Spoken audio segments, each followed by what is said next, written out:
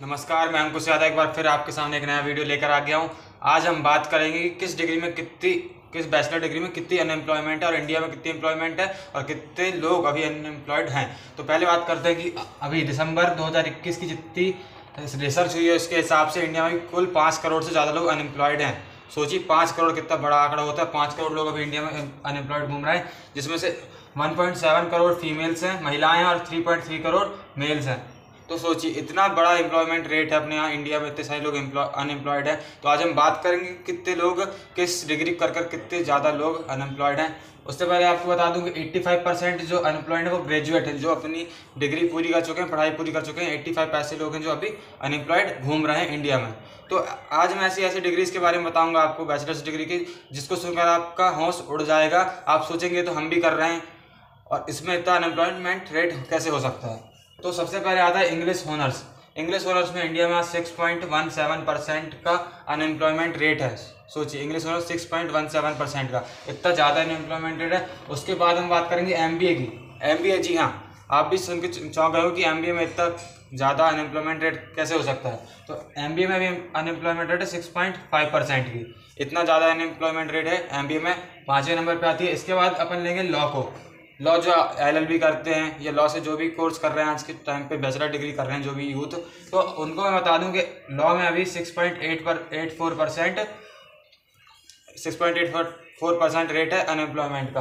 Then उसके बाद आता है बीकॉम जो मैं खुद कर रहा हूँ बीकॉम में six point nine two percent का अनएम्प्लॉयमेंट रेट है इतना ज़्यादा है अब मैं खुद को डिमोटिवेट थोड़ा करूँगा कि इतना ज़्यादा अनएम्प्लॉयमेंट है को नौकरी लगेगी नहीं। वैसे नौकरी तो करना भी नहीं है तो मैं आपको बत, बस बताने के लिए बोल रहा हूँ कि बीकॉम में भी six point nine two percent का अनएम्प्लॉयमेंट रेट उसके बाद मास कम्युनिकेशन मास कम्युनिकेशन में मास कम्युनिकेशन से आप समझते होंगे, जो लोग नहीं समझते, उनको बता दूँ कि मास कम्युनिकेशन में जो न्यूज़ एंकर होते हैं, पत्रकार होते हैं, ये सब आते हैं तो उनका भी सेवन पॉइंट वन परसेंट का अनएम्प्लॉयमेंट रेट है, इतना ज़्यादा है उस उस क्षेत्र में. देन आता है फिर अपना इंजीनियरिंग और इंजीनियरिंग में एक पर्टिकुलर कोर्स है, सी एस कंप्यूटर साइंस तो कंप्यूटर साइंस में अभी सेवन पॉइंट वन फाइव का अनएम्प्लॉयमेंट रेट है. तो जो भी सोच रहा होगा कि हम इनमें से बहुत सारे लोग और मैक्सिमम लोग यही डिग्री करते हैं B com English honours engineering law मतलब मैक्सिमम लोग यही करते हैं। मैं भी करता हूँ, मेरे दोस्त लोग फ्रेंड जो लोग हैं, सब यही कर रहे हैं। मैं खुद बी कॉम कर रहा हूँ। देन आगे का प्लान था कि एम बी ए करेंगे सबका यही रहता है। तो आप देख सकते हैं कि अभी इस क्षेत्र में कितना ज़्यादा अनएम्प्लॉयमेंट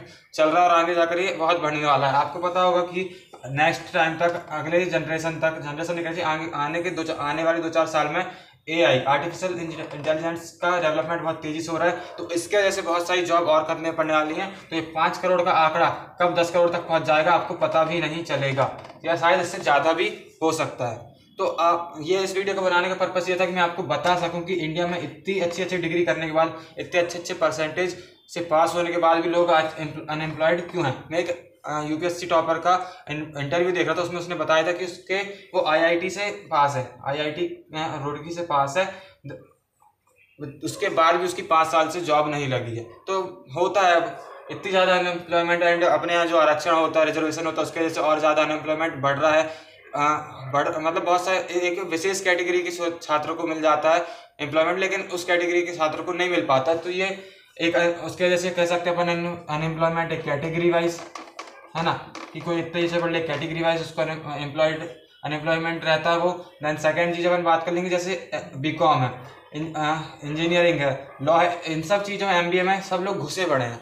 मतलब जिसको देखो वो यही चीज़ कर रहा है तो अब जहाँ पे दस लोग की ज़रूरत है, वहाँ पे उसके लिए सौ लोग अप्लाई कर रहे हैं तो नब्बे लोग तो बेरोजगार रहेंगे ना यार, नब्बे परसेंट लोग तो बेरोजगार रहेंगे।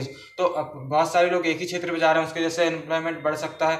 एंड थर्ड चीज़ क्या बात करेंगे, कि इन लोग अपने खुद के जो मतलब M B M B A कर रहे हैं बी कॉम कर रहे हैं तो ये लोग खुद के जो, जिस फ़ील्ड में इनको जाना चाहिए, उस फ़ील्ड में नहीं जा रहे हैं, किसी और फ़ील्ड में जाकर घुस जा रहे हैं। तो इस वजह से और एम्प्लॉयमेंट बढ़ रहा है कि जहाँ तुमने, जो चीज़ तुमने सीखो, वो ना करके तुम दूसरी चीज़ में जा रहे हो तो उस चीज़ से भी एम्प्लॉयमेंट घट रहा है देश का।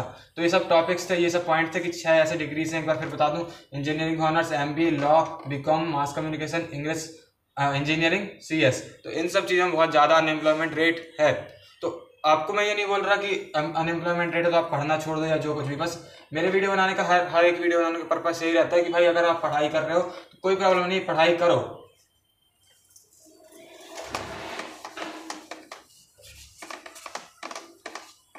प्रॉब्लम कोई नहीं, पढ़ाई करो। प्रॉब्लम इस बात से कि आप सिर्फ़ पढ़ाई ना करो।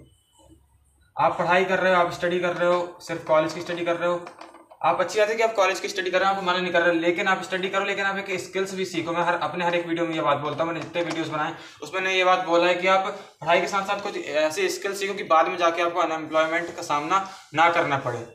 तो वही था कि इतने सारी मतलब ये तो सिर्फ़ मैंने पाँच छः का, पाँच छः उसका बताया कैटेगरीज का नाम बताया इस इस डिग्री में इससे ज़्यादा और और भी ऐसी डिग्रीज हैं जिसमें अनएम्प्लॉयमेंट ज़्यादा है, पाँच परसेंट चार परसेंट तक इतना अनएम्प्लॉयमेंट है, ये भी बहुत ज़्यादा वो होता है। तो आपको क्या करना है कि अब आपको मैं बार बार ये बोल रहा हूँ, हर एक वीडियो में बोल रहा हूँ कि अपनी स्किल्स डेवलप करो स्किल्स डेवलप करो तो उस पर आपको ध्यान देना है।